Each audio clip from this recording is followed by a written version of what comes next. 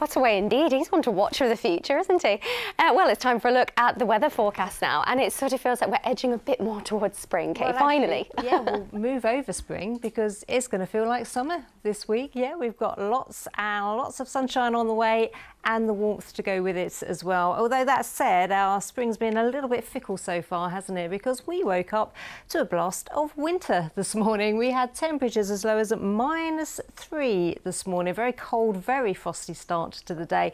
But at least we had a bit of sunshine to go with that first thing. But then the cloud rolled in, so it has been a bit disappointing uh, this afternoon, hasn't it? And that cloud stopped the temperatures from rising. The sunshine is all about, uh, the temperatures, I should say, are all about the amounts of sunshine we get at this time of year. And we just about managed to scrape into double figures. So 11 degrees was our maximum today.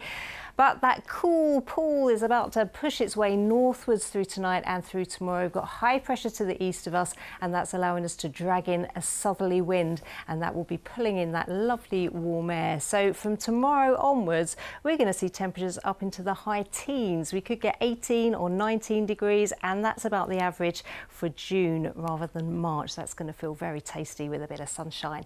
Now, that said, we're not going to be completely dry tonight. There is the chance that we're going to see a light shower or two later on in the night and we're going to see a bit more cloud through the night as well but that will help to hold the temperatures up so we're looking at a minimum of four or five degrees a much milder night and we are frost free tomorrow morning then we will start off with that cloud but it breaks up really quickly and for most of the morning it's going to be dry. There'll be beautiful blue skies.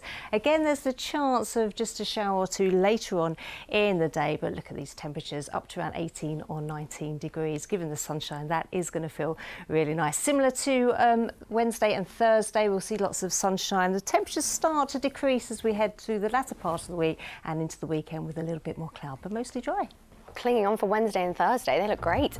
Uh, that's all from me for now. I'll be back with your late news just after 10.30. Goodbye for now. Have a lovely evening.